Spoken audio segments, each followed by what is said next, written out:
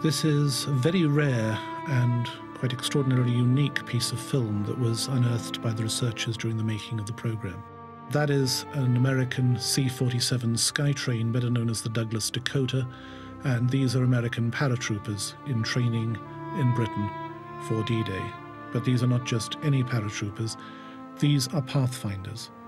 It was the job of the pathfinders of each of the airborne divisions to drop first about an hour before the main body of the paratroopers and to mark out the drop zones. It was extremely dangerous work. They were dropping into hostile territory at night and alone. And these are the aircraft that carried them. The C 47s marked with the black and white invasion stripes, which were painted onto all aircraft just before D Day as a means of recognition and this is the very first aircraft to lead the American Air Armada, number 293098. This is the aircraft flown by Lieutenant Colonel Joel Crouch, commanding the 9th Troop Carrier Command Pathfinder Group. And this is the aircraft that will lead the two American airborne divisions into action on D-Day. And this is Lieutenant Colonel Crouch together with the crew of his aircraft. And if you look behind them, you can see the invasion stripes painted on the aircraft, and they've actually put masking around parts of the aircraft that they don't want damaged by paint. Uh, that paint is probably still drying as this film is being taken, and that is an indication of just how immediate and real this film is. Handshakes all round, preparations for going into action.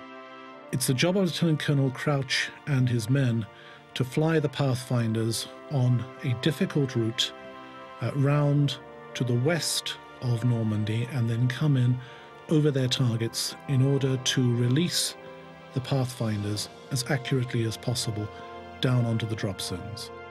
If the Pathfinders get a good drop, they will be able to mark the drop zones clearly for the rest of the arriving troops. And they will be doing this flying through bad weather and, for the last few minutes, through German anti aircraft fire.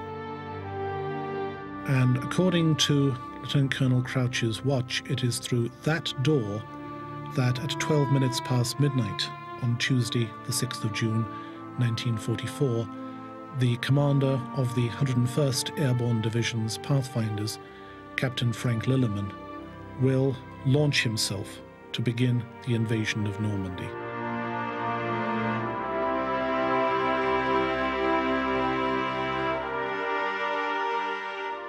And this is Lieutenant Colonel Crouch, taken with Captain Lillyman on his left as we look at it, and the lieutenant on his right displays very prominently the double A, the All American Division, her 82nd Airborne Division, flash showing he commands the Pathfinders of that division. And it's a bit hard to tell from all the camouflage cream, but that appears to be Captain Lillyman with the 101st Screaming Eagle flash and also the American flag.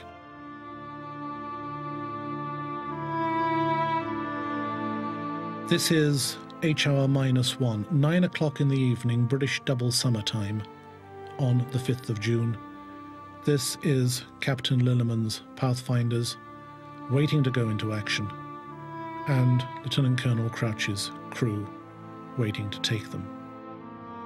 It's going to be a difficult flight of just over two hours duration. They have to fly as accurately as possible the final stages through bad weather and heavy cloud to get the men to their drop zones.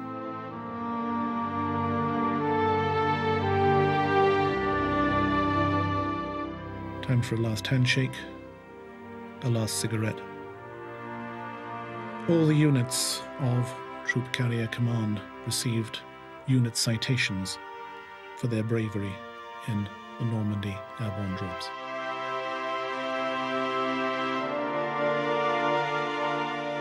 Coming up to the actual moment, extraordinary to have this on film. 9.54 p.m., June the 5th. Lieutenant Colonel Crouch's aircraft takes off, with the others following him. 20 minutes to get into formation, and then next stop France.